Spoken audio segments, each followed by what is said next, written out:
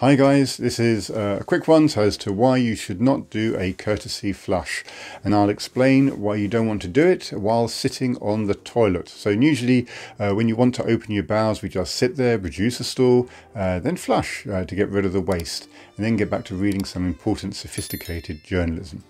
No, you do not ever want to sit in the toilet while you flush. And so under this seat I've just put a little bit of uh, cling film, so great for um, April Fool's jokes. Um, and so this is uh, a nice clean toilet, otherwise I wouldn't be touching it like this.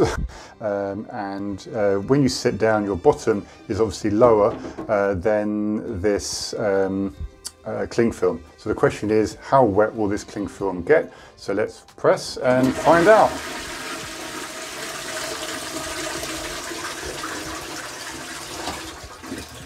So as you can see on the camera, you have all these little tiny uh, specks. These are water. You have remember your bottom will be lower than this. So all this will be going on your backside, on your bum, on your genitals.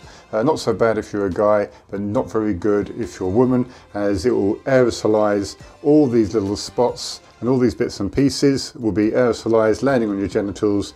And so if you're a woman, you will be at risk of um, aerobic vaginitis. It's not going to help uh, get rid of bacterial vaginitis. It's going to be uh, not a healthy situation. So this, ladies and gentlemen, is why you don't do a courtesy flush and why you put the lid down when you want to do normal flush and then you flush.